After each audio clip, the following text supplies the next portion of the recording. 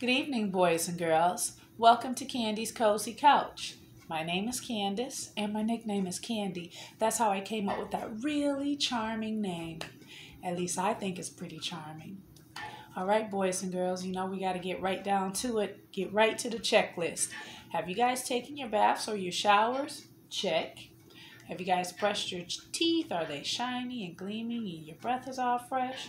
Check. Do you have your favorite PJs on? Check. What about your cuddle buddies? You got your cuddle buddies? Check. Are you snug as a bug in a rug? Check. Well, before you've even gotten in bed, did you remember to give your hugs, kisses, and I love yous to all of your family members, including your pets in the house?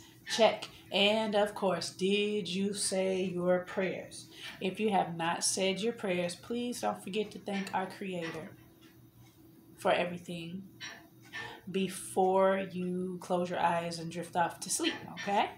All right, so do that after the story, but don't forget if you haven't done it already.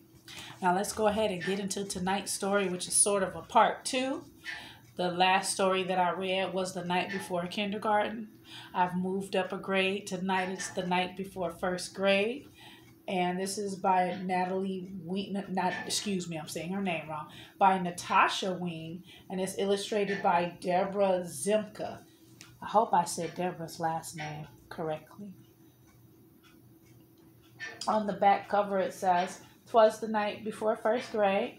I kissed my dog Clover. School starting tomorrow because summer is over. It's the night before the big day, first grade. And for two friends, the new school year starts off with a big surprise. And that's what our back cover is looking like right there. Let's go ahead and get right into it, shall we? The night before first grade. Uh, yeah. It's going down in the town. Twas the night before first grade. I kissed my dog Clover. School starts tomorrow because summer is over. Now, you guys know our school started maybe a couple months ago, but it's okay. Still a nice story. Into my backpack went markers and pens. I hung my new outfits. It matches my friend Jen's. Okay. All right. It's always nice to have a best friend. Okay. I spoke not a word, but went straight to the shelf and filled up my lunchbox. I made lunch myself. Ooh. How about you guys? If you're in first grade, are you making your lunches by yourself? That's a big step up from kindergarten. I can't wait to see Jenny. I told my big brother I hope that our desks are right next to each other. Oh, that would be cool, huh? How many of you guys are in the same class with a friend that you knew before you started school? That night, I was nestled all snug in my bed while visions of jungle gyms danced in my head. The next day at breakfast, Dad made such a fuss. What a big girl you are to be taking the bus. Ooh, how many of you guys are in first grade or higher even, higher grades than that, and are taking the bus, the school bus?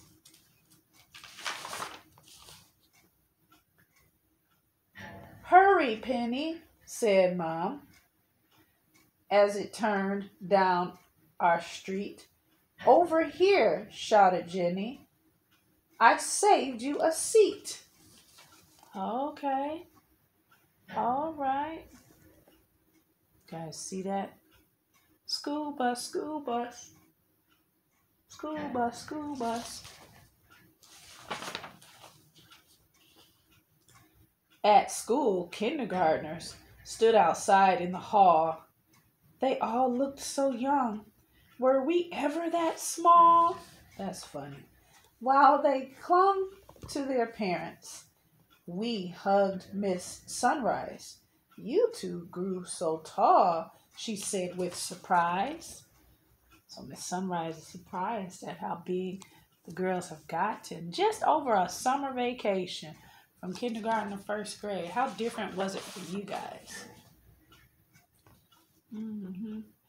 D, d, d, ding! rang the school bell. We made such a clutter as we raced to our classroom. Then Jen said, What's the matter? All right.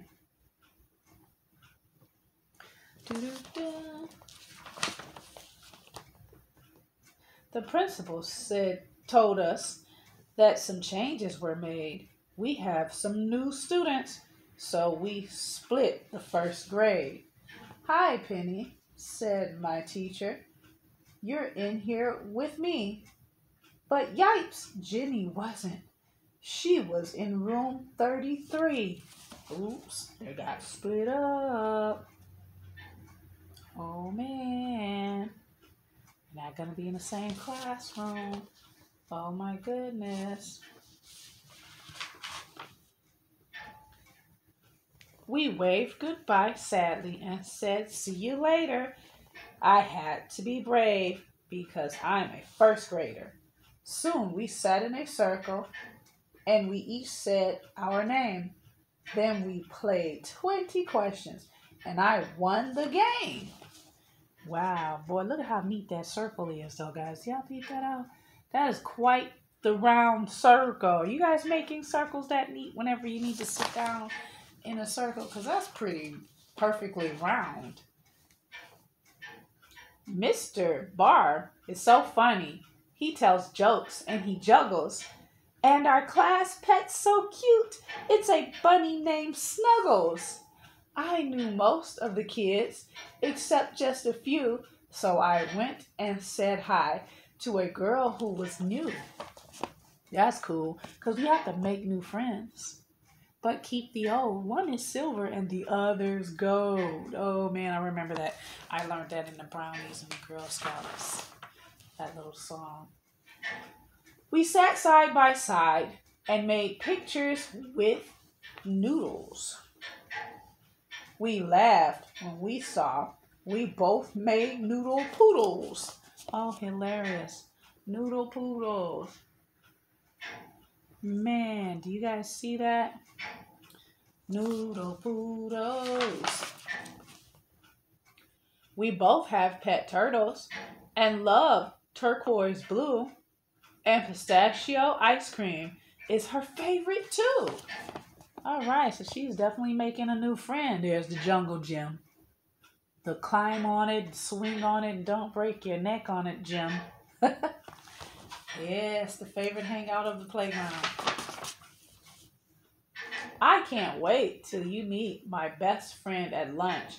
I just know that you'll both like each other a bunch. The lunchroom was buzzing, so busy and loud we sat down at a table. Was Jen in this crowd? Oh, now they gotta find her. They gotta find Jen. I don't know where Jen is at. Y'all see that? I don't know where Jen is at. Crowded lunchroom. Everybody eating lunch. When what to my wondrous eyes, there in line was Jen with a new friend who looked just like mine. Their eyes, how they twinkled behind matching frames. They had curly pigtails and they had rhyming names. I'm Tina. I'm Nina. Tina and Nina. Ooh. Mmm. Okay. Our new friends were twins. And though school's just begun, I know first grade will be twice as much fun. Oh, so they split the twins up and they split Jenny and Penny up and they ended up making friends with both of the twins. The end. Now that was a really cool surprise for a first day of school, huh, boys and girls? All right, like it. All right. Well, now that we've had that story behind us, it's time to move forward with our dream adventures. Yes, get yourself ready. Take yourself on a dream safari. Take yourself on a dream cruise. Take yourself on a dream voyage. Take yourself on a dream expedition. You are in charge. You are the lead. All you have to do is close your eyes, whisper to yourself what you would like to dream about, allow your body to relax and rest and be still and calm and just drift off to dreamland so that you can have your special dream.